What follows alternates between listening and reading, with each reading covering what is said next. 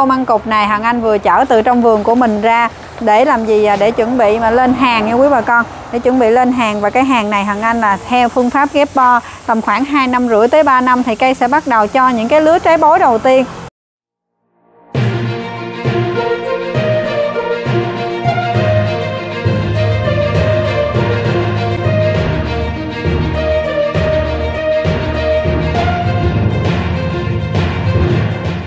Tay hoàng Anh là một cây măng cục thái ghép bo đang có cái trái luôn quý bà con. Cái trái nó rất là xinh.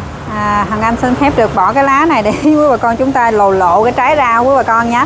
Măng cục à, là một trong những cái à, gọi trái cây rất là giàu dinh dưỡng Và hôm trước hoàng Anh có đi viện thì à, một số à, các cái các cái cô chú quan tâm sức khỏe thì nói hoàng hỏi hoàng anh là bây giờ con làm cây ăn trái con biết cái trái gì mà nó sạch hoàn toàn ít sâu thuốc ít phân thuốc đồ không? Thì hoàng anh nói cô chú ăn trái măng cục đi tại trái măng cục con cũng không can thiệp được cái vụ làm bông con cũng không có hướng dẫn là phun thuốc sâu thuốc ơ gì hết. Chỉ có làm sao phun cái dưỡng trái mà dưỡng trái của Willow Farm thì lại là dưỡng trái có cái dinh dưỡng từ nguồn hữu cơ nên là sẽ rất là rất là an toàn với bà con chúng ta. Nếu mà nói về hàng trái cây sạch xài, trồng, ăn, giúp dù Hằng Anh là thằng măng cục thái ghép bo.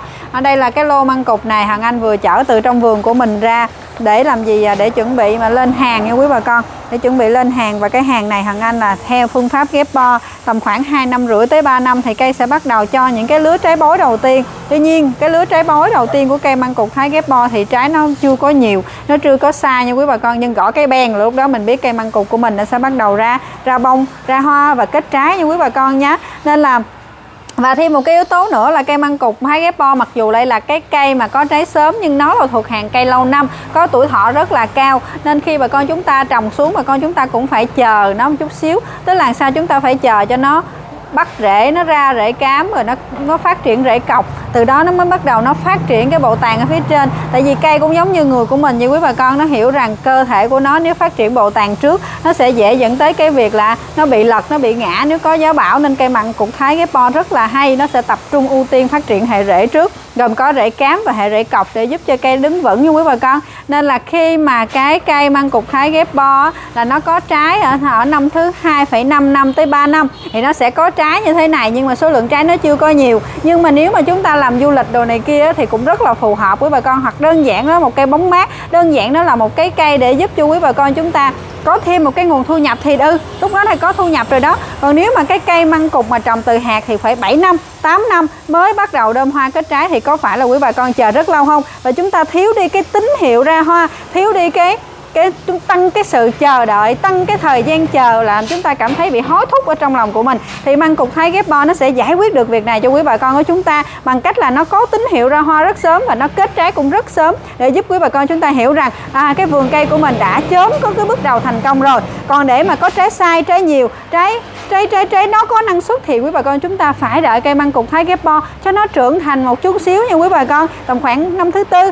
năm thứ năm thì nó sẽ co chúng ta cái thu nhập đều đặn hơn quay trở lại là trái cây mà, gọi là, ít phân thuốc và giá trị dinh dưỡng cao, thì bà con chúng ta sẽ có măng cục thái nha quý quan hoặc là măng cục Việt cũng được. Tuy nhiên, nếu mà nói về mặt cây giống để cho nó phát triển nhanh và nó có thu hoạch sớm, thì bà con chúng ta có thể sử dụng cái cây giống là măng cục thái ghép bò và dĩ nhiên chúng ta tiết kiệm được phần này thì chúng ta phải chi ra cái khoản kia. Tức là cái cái giá của cây giống măng cục thái ghép bo nó sẽ cao hơn, nó sẽ nhỉnh hơn so với cây măng cọc cục trồng từ hạt nên quý bà con chúng ta cũng lưu ý điểm này giúp cho Hoàng Anh. Tiết kiệm thời gian 2 năm 3 năm 4 năm 5 năm thì chúng ta bắt buộc phải chi cái hầu bao của mình, móc tiền ra nhiều hơn chút xíu.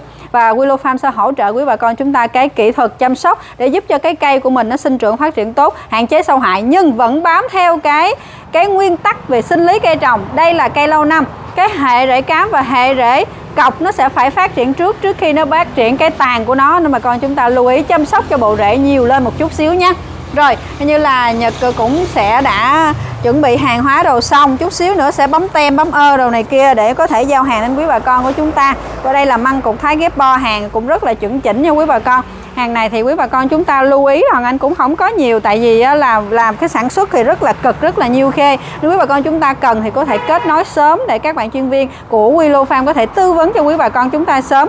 Còn hiện tại trên thị trường có rất là nhiều đơn vị, họ ta lấy hình ảnh của Willow Farm, lấy luôn cả người đại diện là chính là Hằng Anh hoặc là anh Viễn hoặc là anh Hùng để làm những cái trò con ruồi đấy, và gọi là trục lại. Bà con đánh lừa và trục lại từ cái những cái video đó. Hoàng anh không có bao giờ là là là đi mà mua một cây tặng hai cây hay mua hai, ba cây tặng cây nha quý bà con. Hoàng anh sản xuất cây giống tập trung vào chất lượng, tập trung vào đúng giống nên Willow Farm không bao giờ chạy cái chương trình đó cả. Bà con chúng ta lưu ý giúp cho Hoàng Anh. Kìa, bên kia hoạt động đang giao hàng, bên kia đó mấy bạn giao hàng A, B, C các kiểu luôn. Đó là đi tuyến Bảo Lộc, Đà Lạt ha rồi, cảm ơn quý bà con một lần nữa và rất là mong là quý bà con chúng ta hiểu về Willow Farm, yêu thương cái trái cây từ Willow Farm.